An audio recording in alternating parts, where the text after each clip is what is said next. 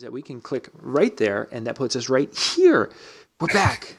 Show number three, I think. I don't know. We, we, we've done some. We're more to go. It's a great night. Dean Carlson is with me tonight. Dean, good evening. Hi, John. How are you tonight? I am doing well, doing very, very well. This is a good time of year to be doing this because in about two months it would be so cold that maybe the internet would be frozen between us. Probably. um, so we're going to talk weddings and and specifically, I wanted to dig into dig into the the idea of of some of the things, the little things that we do at weddings that sometimes we just do and take them for granted. And you've kind of made it a passion of yours to know more about those parts of the wedding that we do without thinking about. I sure hope so. I mean, you know, uh, we're professionals, right? And we should take what we do seriously. Yep. And that includes knowing why we do what we do. For sure, for sure. Now, when did you start getting kind of into into more of the history side of it? And I say history side of it, but uh, just just researching this so you were able to use this information you know uh, it really ticked for me when i first took my first Marbecca workshop um, back in 2005 i would have to say it was. And you know we started talking about you know why do we do these things or um, what are some of the reasons behind uh, the things that we do uh, at weddings? And uh, it opened up a whole new door uh, for me overall and how I could look at some of the interactions that I do already um, and some of the sales techniques that I can use from this also. So, hmm, interesting. Um, there's a lot of different areas that you can use this information from. Interesting. Yeah. I guess I hadn't thought about it from the sales perspective, but I guess I, that would tie in if you really you really start thinking about it. Right. When you were doing your research and you're you're looking into this, where were you pulling information from? Where were you going to find some of these different things? Um, you know, the first book that was recommended to me was uh, I don't know if you guys can see this book yeah. really well, but it's uh, it's Bride's Book of Etiquette, and uh, it's put out by Brides Magazine, uh, actually, and I'm sure they've updated it since I've gotten this copy. But that was uh, where I first got into the different etiquette um, pieces and the whys of you know uh, you know what's behind everything that we're we're doing at a wedding you know at some point there had to have been an origin to everything that we do yes and and why is that important mm-hmm. you know I, I think that's that's the key when you're looking at this sort of stuff that it's just not useful information well it is useful but i mean it isn't just information that you know i know this and someday maybe if i'm on jeopardy i could win you know uh, $20000 uh, yep. what is yeah but uh you know it's just the idea that uh, we're wedding experts. Mm-hmm. That's that's what we're looking at, and and we have a unique position in that that, that field as disc jockeys. Um, we're so all encompassing in the entire day with people. Uh, you know, even t- in 2004, I bet you I, I only did probably about 20% ceremonies. And this year, I probably did 90, 95% ceremonies. Wow. You know, as far as sound goes, or even as an officiant now.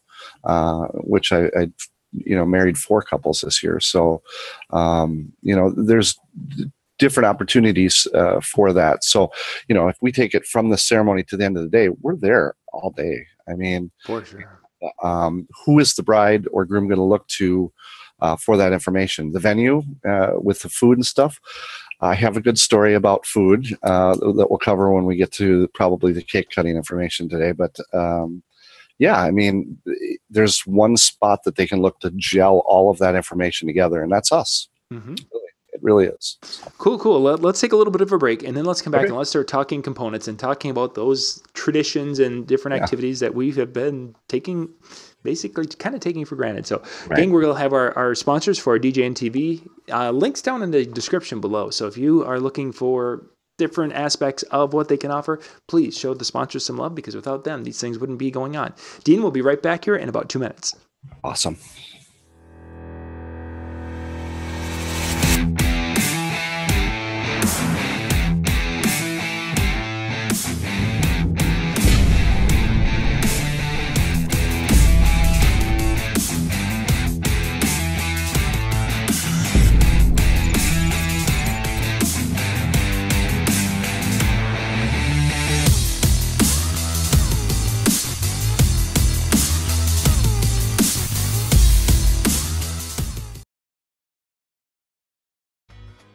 DJ Event Planner will change the way you manage and run your business. Streamline all of your procedures and software into one easy to manage system. DJ Event Planner, the ultimate online planning tool.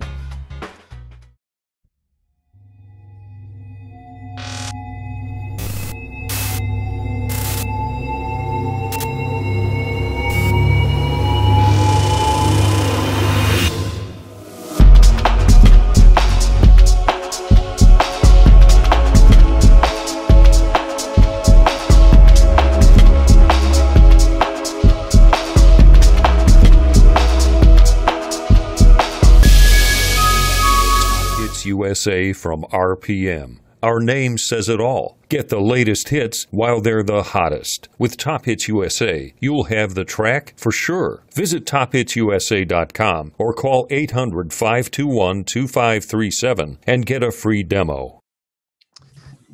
All right, so we've talked a little bit about where Dean found some of the information and such, and the reason why he did it. Now we're going to get into the meat of it. Dean, let's let's start with one. If you could pick one aspect of a wedding that we as DJs probably don't know enough about when it comes to having a conversation with our bride, where would that be? Um, well, I mean, let's just start with the aspect of the wedding itself. I mean, where did it start? Uh, how long have we been doing weddings? Why is it important that people um, are getting married. I mean, nowadays, yes, it's a real personal choice, of course, and uh, you know. But if you look back through, you know, the history of times, weddings have been going on for, you know, almost five thousand years now, in different various degrees.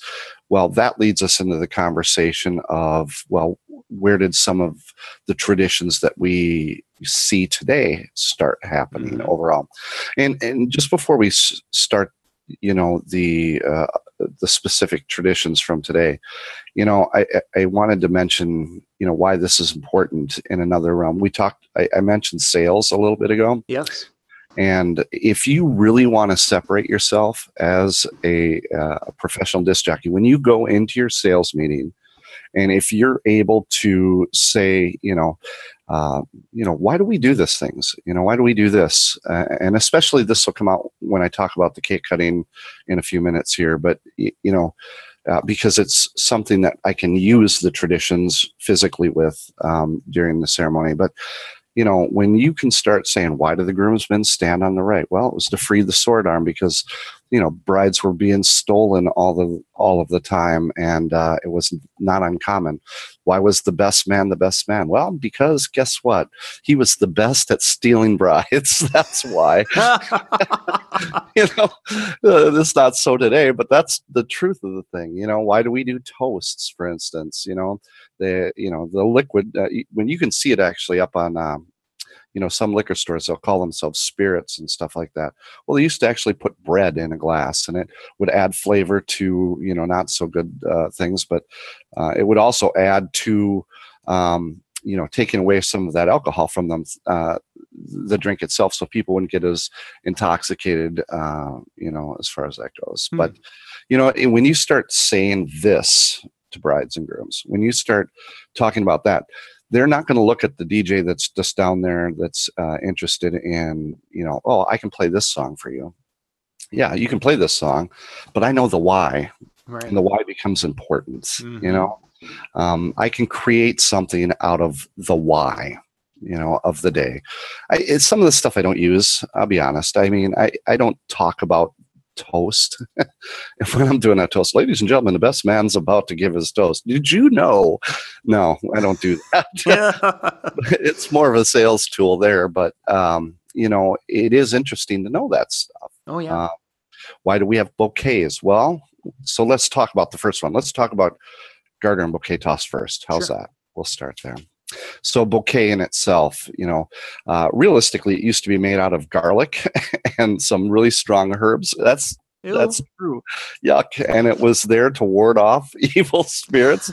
And no uh, superstition there at all. yeah, no superstition there. But you know, and also probably bad grooms, I would guess. But um, I the the one the tradition that I like the best about the the bouquet is the love the love letter I, I talk about uh, when I'm in a meeting with people because you know what people didn't know how to read and write. Yeah. You know, how did they communicate with each other? Well, grooms would take some flowers and he, would mix them because each flower had a specific meaning, and he would send those to you know the person that he was chasing after, um, and that was would be a love letter. You know, this flower meant this, and this flower meant that, and it could change uh, overall. So the bouquet takes a different meaning when you look at each flower um, that's inside of the bouquet. And then, you know, it's good luck to have a bouquet at uh, a wedding. Most all of the traditions are based on either becoming affluent or fertility, to be quite honest. There's a lot of fertility things out there. Apparently, people were uh, really, wanting to make sure that they had a heir to their uh, their family name uh, for sure. Oh, wow. Overall, but you know, you take that with why do you toss the bouquet? You know, again, we're we're bringing this back to the the fact that you get to share um, your luck uh, with uh, you know potential maidens that are not married at that point. Um, the garter itself is a little easier um, to describe than the bouquet, I would say, because you know the cool thing about the garter is it, uh, you know a wedding dress was in itself was considered good luck. So, near the end of a reception back in, say, you know, uh, probably around the 13 to 1400s, guests would start ripping the bride's dress off. yeah, they'd rip it off wow. because if you had a piece of the dress, that meant good things for you. That meant your fortunes were going to change. Or, you know, um, when we talk about the cake cutting, you'll see how the, what the reason why they took pieces of the cake is a little similar.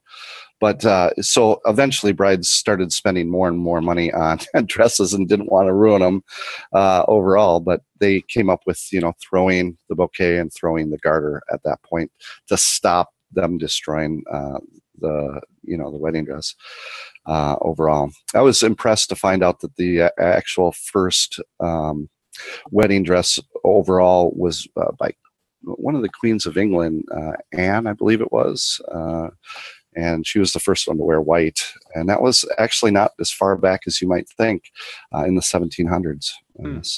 Yeah. So this is why we do that, you know. And then uh, how do you use that? Well, it isn't something necessarily that you're going to say, but I have this theory, and I could be wrong, uh, I think. Uh, but, I don't want to say bad DJs. I I think that we have lost some of the tradition of marriage, you know? And, you know, there's a lot of DJs saying, oh, we don't want to do the garter or the bouquet toss anymore because it's become the shtick, right? Mm-hmm. And, you know, uh, what I see now, really honestly, is brides don't necessarily want grooms to go up their dresses to grab the garter. Uh, yeah. Uh, in general, and that's a valid uh, thing. But you can still throw the garter and bouquet it still has value when you talk to a bride and groom and you tell them these things like eh, this is why we did this this is the reasoning behind this now the guests may not get all of that point you know they may look at it and you know start saying to themselves oh well if i catch the bouquet i'm the next person you know to get married you know that's a real recent tradition that was added to it probably you know as as early as the you know early 1900s uh, overall but it, it, when you tell somebody that, it all of a sudden has new meaning, mm-hmm. right? For sure. To them. And then you can still do that. And what you do with that is, you know, specifically up to you as a DJ uh, on how you want to make that special for each bride and groom. But at least you know that there was a purpose at some point for this. Mm-hmm. And it's not just, um, so that we can have five minutes off of from playing music or uh, this thing you know you can develop something uh, you know pretty uh, spectacular out of that i think overall mm-hmm. for sure so yeah interesting uh, the, I, the bride dress i had no idea oh yeah it's crazy isn't it yeah rip the dress yeah, take a hunk of the dress and... yeah yeah oh, crazy Okay, let's see. We've got about about nine, eight, nine minutes left. So, okay, where do we where are we heading next? Let's just uh, let's go right into the cake cutting because this is the, where you're really going to see the most application to uh, your shows. I think in general. I mean, it's important to know the other things uh, overall, but uh, how you can utilize those things is uh, really a lot different uh, than say the cake uh, cutting. And again, I want to go back to the fact that I think that we are partly responsible for the loss of some of the traditions as DJs. I, I just I believe it with every fiber in me. And the cake cutting is a prime example of that. You know, uh, for years, and I was responsible too. I, I'll take the my end of this story, but you know, it, it, the the thing is, we would go, ladies and gentlemen, we're going to do the cake cutting now. Please bring your cameras on over as Bob and Mary cut the cake. Yep. Play sugar, sugar, right? That's the cake cutting. Yeah. And you know, what meaning does that have? So brides and grooms are spending, uh, you know, thousands of dollars on photographers, okay, to take a picture of a cake that they used to spend eight to nine hundred dollars on, not anymore, right? Mm-hmm. And the reason it's disappearing from our shows, the reason we're going to cupcakes or uh, you know, shoot, I had a cookie two weeks ago. Mm-hmm. It was cool though. I, I it was totally them. So actually, if you look at the history of the cake cutting, you can see that they used pies and stuff back then too. But but we have lost that moment. You know, we have we're not making it significant for people. And you know, it, it just takes looking at the history of things, uh, you, you know, to do that. And and these are things that you can bring to life to guests because they don't know you know? Uh, they don't know for uh, you know they don't know that it was good luck for brides and grooms to have a cake at their wedding. Uh, they don't know that uh, let me get to my notes here that um, you know they used to stack the wedding cake up uh, up and up and up and the bride and groom used to kiss over that and depending on how high they would kiss would uh, really base how much um, uh, you know how much uh, fortune and stuff that they would have or what kind of marriage that they would have. And that led to actually an inventor a, a, french baker inventing frosting in the 1800s to build up cakes you know to keep them fresh and they could build those cakes higher and higher. Hmm. Shoot, i saw a cake a picture of a cake. This was really disturbing though. Some lady in texas actually had a cake made of herself. I was like whoa that's just too wrong in so many different levels. The groom cutting into the cake what? Yeah. whoa. But I mean, when I talk about the cake cutting at a wedding, I talk about, you know, hey, here we are. We've got Bob and Mary here, and uh, they're about they're ready to cut the cake. Did you know that uh, you know that the cake cutting was really a significant thing, and it's important for them to um, you know have this and share this with you at a wedding back in ancient times or in antiquity or Roman times or whenever you want to uh, talk about, uh, you know, if you had cake, it meant you were going to be wealthy because wheat was something that was not common. And that's what they made all the cakes with before they were sugary cakes um, that they developed into in probably the 1800s uh, overall. Um, but and then there was the superstitious parts. Those were the fun ones. And this is where the cake smashing comes from. The groom would literally well actually the bride would be the one that would cut the cake all the time. And then when as cakes got bigger and bigger eventually she had to say it was okay for the groom to help. But eventually he started crumbling cake over the bride's head. That would make her very fertile. They would have lots of children but so knowing this, okay, say let's take that for instance, just that part. Right? If you, and and I do say that at my weddings. I literally say that, you know, but when you're doing a planning meeting with a bride and groom, you have to ask the question, can you have kids? Mm-hmm. Yeah, because you know, if they can't have kids and you say that, it's a bad, bad deal. That would be bad. And, and you know what that leads to? Every single time the room laughs, they do. They think that's hilarious. But it, it, leads. It led to the smashing of the cake. You know, uh, eventually, um, they changed from that. I don't know. It was like, heck no, we're not having babies or whatever. Yeah. I don't know. You know, I, I no want idea. babies.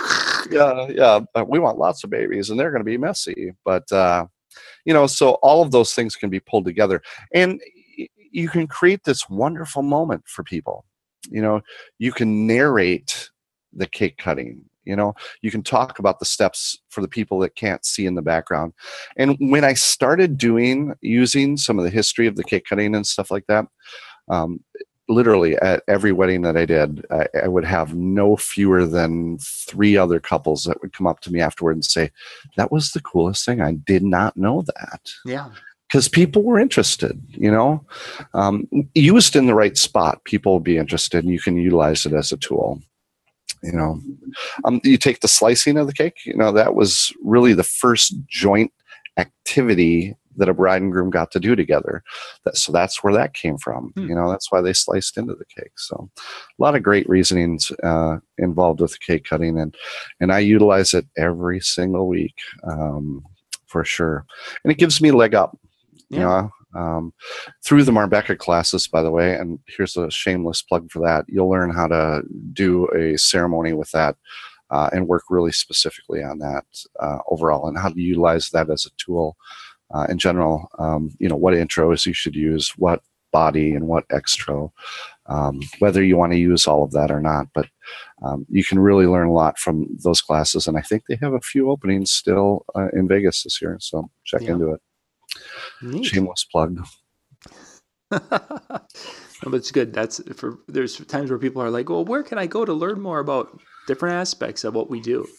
And the Marbecca is probably one of the premier educational resources yeah. out there in the DJ industry right now. It's it's cool. I um I saw I, I saw an interview on Good Morning America about two weeks ago with um, they were interview Bon Jovi must have a new album out and so the three original members that are still in there obviously Richie Sambora is not there but uh, the bass player said something pretty interesting to me and he said that um, how, what would you recommend uh, Michael Strahan said, asked, "What would you recommend to uh, people that want to become rock gods?" Mm-hmm. And the bass player said, "He says, you know what? You have to continue to practice daily. you have to love your instrument, and you have to continue to take instruction." That's what he said. They've sold 230 million albums, and he continues to do that. Um, I'm entering my 28th year of DJing this year. I just started that. I'm pretty stoked. October's yeah, nice. anniversary. Congratulations! And, yeah. Uh, I'm spending this year. I s- spent probably close to five grand on education. You know, because um, of this sort of stuff. Yeah. This is what's going to separate me uh, from other people, and the education stuff is out there. Uh, I'm looking at uh, jumping into Peter uh, and Liz's stuff this year. I haven't done any stuff with them yet, so I'm kind of excited to possibly do that this yeah. year with it. But um, there's there's things out there we can find them and we can do them and we can uh, better our craft and we can learn and we can become the expert that our our clients expect us to be. Yeah, great stuff. Good stuff. Dean, if someone would like to get in touch with you, where can they go to catch up with you? Um, sure, you can email me at dean at nightmagicproductions.com. That's my company name. I'm also on Facebook, so dig around uh, on John's page. You'll find me there. Feel free to, to do that. Uh, last time I did a seminar, somebody uh, Facebooked me afterwards in Iowa. And I had a show in Iowa this year, and we they did a ride along with me. So very cool. I take people with me all the time. Um, you know, if you want to come along sometime, I'd be happy to do that too. So good stuff. Good stuff. Well, we're gonna wrap things up, gang. Uh, we'll have Ben Stowe here in about five minutes. I'll put the link for this show in the chat room here in just a second. Uh, Dean, I want to thank you for coming on tonight and uh, sharing some great information. Yeah, thanks. Yeah, there we go. The chat, it's in there. So we'll see you guys in about five minutes.